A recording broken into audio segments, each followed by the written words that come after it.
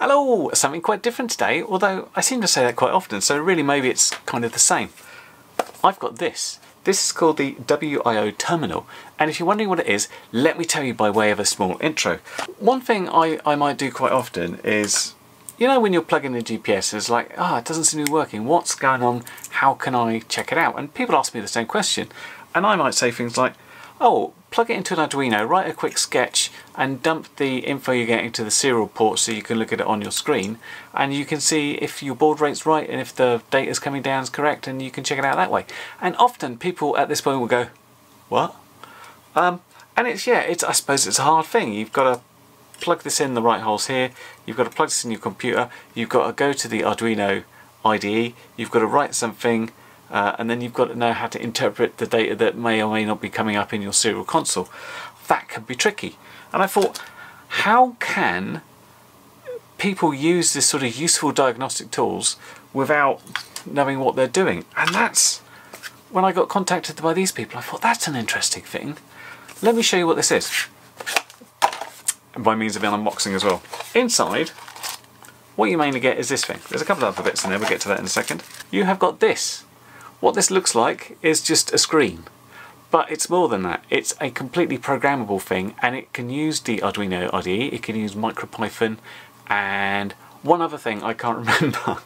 and you've got stuff like you've got a user definable uh, button, you've got three other buttons here, um, and at the back here you've got uh, 40 GPIO pins which are compatible with Raspberry Pi. And that basically means you've got lots of inputs and outputs you can use, um, as well as USB Type-C, two other inputs there. Um, but instead of having to rely on, you know, how to connect things and stuff, you can use the screen. Example of, because it came with something, if I plug this in USB to power it and turn it on, it, it basically comes up with this little, someone wrote this little game where you have to sort of run along and jump over stuff, as an example. And so you can interact um, by plugging stuff in and using buttons and do some diagnostics that way. And I thought that's really what uh, I'd like to do with this. And I thought I could use this, maybe try and write a few diagnostic tools for use with RC stuff. And then if, people are interested in that one, they'll be able to download the code that I write for it. Um, so one of the one of the ones is testing out to see if the GPS works. I thought that'd be good. Obviously, from the point of view of a programmer, you'll need to be able to program it you'd need to be able to write to this. It's got its own internal memory, but it's got an SD card in there as well. Uh, I'm not entirely sure what you can use this for. There's also a battery pack you can get which plugs in the back of this and then you can use the USB port for communications as well, which might be quite useful. I'll just show you what else comes in the box before I start fiddling about with it. You get the world's smallest USB-C cable. I think I might stick with the slightly larger ones I've got. Got a replacement blue button, I guess in case that one falls off. Got a little user manual here, and they have some links to their own MicroPython and Arduino tutorials. You've got some stickers, which is quite handy, that you can put over these to check you've got the pin numbers right. Because you don't want to screw that up, because um, some of these are powered, some of them are ground, and if you plug them in the wrong way, you can blow stuff up. So don't do that. Anyway, um, let's have a closer look at this and see what we can actually do with it and start fiddling about. So let's talk about exactly what's in here. And before I do that I'm just going to plug it in because I put this benchmark demo on it which uses this library called uh, LVGL or something which is quite a complicated uh, bit of infrastructure but at least we'll draw stuff on the screen and stuff. Uh, and you can see it's quite a usable screen. Uh, it's full colour um, and yeah it's, it's pretty nice looking. But anyway what you got around here as I mentioned this is uh, on and reset. That's the SD card. So the SD card would normally be for accessing extra things from your programs. This is a five position joystick. Three user buttons there. And we've obviously got USB-C here plugged in. These ones here are called groove connectors. There are a whole bunch of these sort of groove enabled sensors that I see on Seeed site. I don't know if it's a sort of industry standard, but it's all sorts of different way of getting sensitive information in there. This is sort of all part of the the Internet of Things sort of stuff. So that is an option there. It doesn't quite work for what I'm doing because I think it's it's mostly 3.3 volts, and, and then it's it's basically got some pins.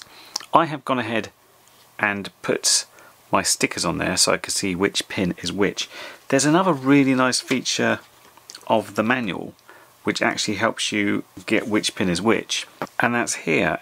You can see it's actually got the sort of overlay. So you can say, oh, which pin is for what. And ditto down here, you can see you literally overlay the shape of the, the unit with that. I think that's a really nice little feature. But there is so much inside this little thing as well. Aside from these buttons we've got and the input methods we've got, we're looking at um, a Wi-Fi adapter and Bluetooth uh, and it's got a both a 2.4 and 5 gig antenna. It's got a free axis accelerometer so it can tell what we're doing when we're doing this sort of thing. It's got a light sensor, an IR emitter and it's got a, a microphone and a buzzer in there as well. And on the site there's all sorts of uh, information about how to program this stuff and sort of, you know, starter in bits of code. It's got things like uh, doing infrared remotes and sensing lights and connecting to your Wi-Fi stuff like that. So I feel a little bit like I'm not doing it that much justice by saying I'm just going to sort of try and read a GPS and see what we've got there.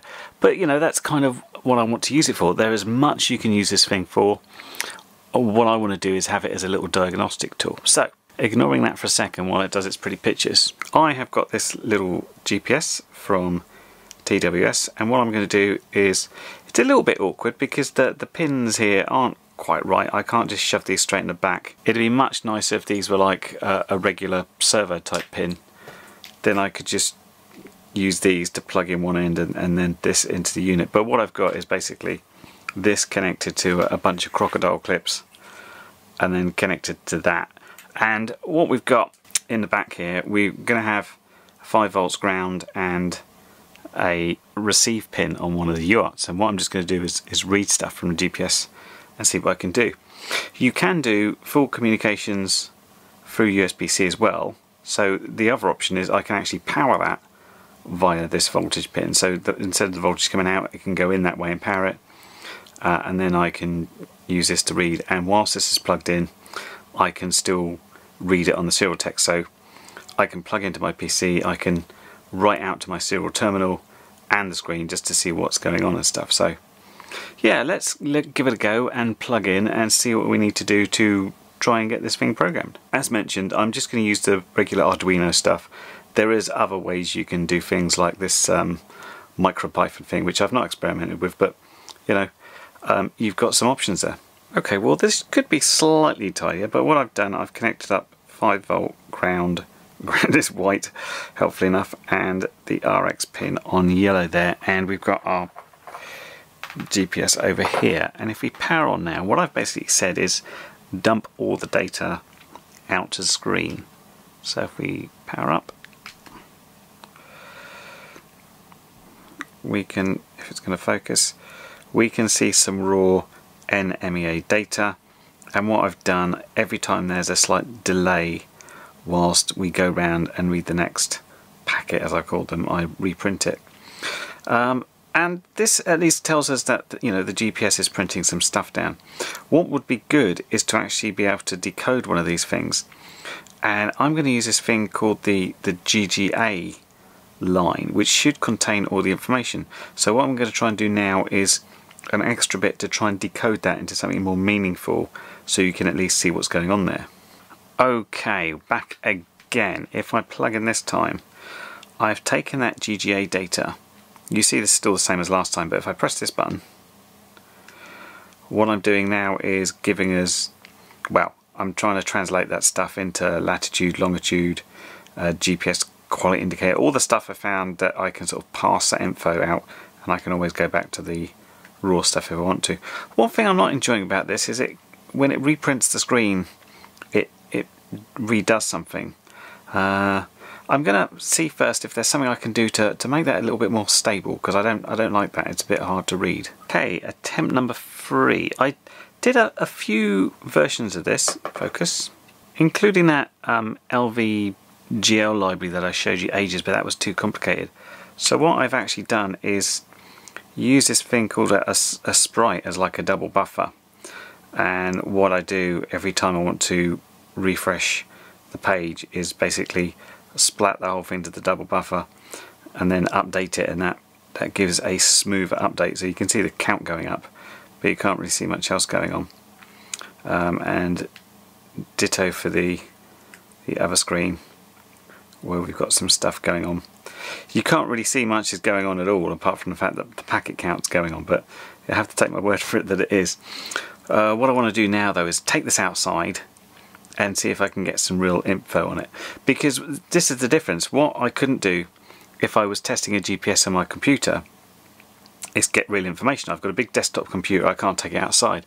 This I can just take my little power pack, um, run it up outside uh, and see what happens. So I'm going to walk down to the park and uh, see if we can get some real data from here and that would tell us if this GPS is actually capable of getting sats and stuff.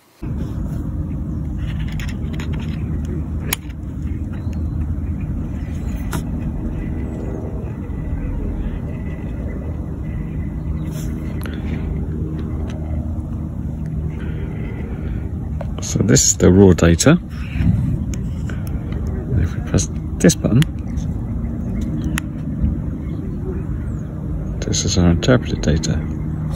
Of course, we need to get some sats first. We're just here in the park. Should get some sats here. Okay, as we've got some sats up here, you get a lot more info going on here, although it's slightly harder to interpret by hand. If we look here, you can see we've got 10 sats, we've got a HDOP of under one, and we've got our GPS long and latitude. All good. It's about a minute. Wow, that's about a minute 20 if packet counts one per second.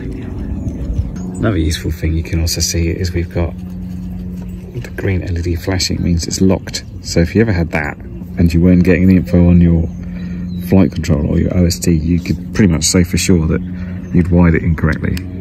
Sorry about the visual and audio quality on that last bit. That's that comes from filming outside with my phone whilst uh, trying to film a reflective screen in the sunlight. But you know, it is what it is. I think you get the idea. The GPS picked up satellites quickly. I was able to show what was going on on the screen, so I was happy that the GPS was working. But that's just kind of a, a test function to this one.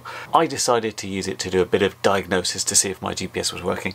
But there are a lot of functions for this. It's an interesting little device. Clearly not something for everybody. Um, mostly for people that are interested in kind of coding and seeing how things work when you you know plug in sensors and seeing what you can get.